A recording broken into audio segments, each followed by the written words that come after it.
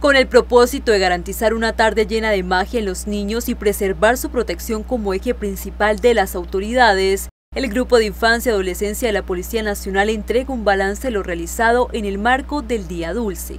Gracias a Dios pasó el resto del día, el resto de la noche sin ningún caso especial o de consideración.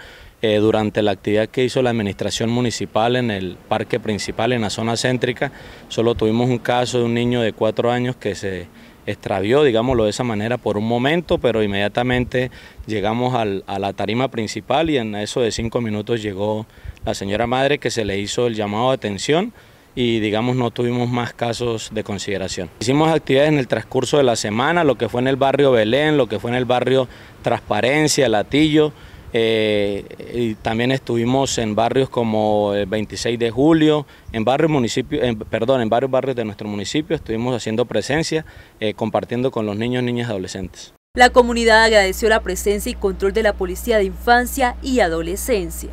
Policía Nacional en general, eh, estábamos comprometidos, toda la institución, en, garantizar los entornos de los niños, niñas, adolescentes de nuestro municipio. Estamos prestos para cualquier situación y como decía anteriormente, gracias a Dios no ocurrió casos que el día de hoy podamos decir que de pronto hay que lamentar. Gracias a Dios todo salió, como dice nuestra institución, sin novedad. Se le hace un gran reconocimiento a la Policía Nacional quienes defendieron la vida y protección de los infantes y adolescentes como de toda la comunidad en general en su día.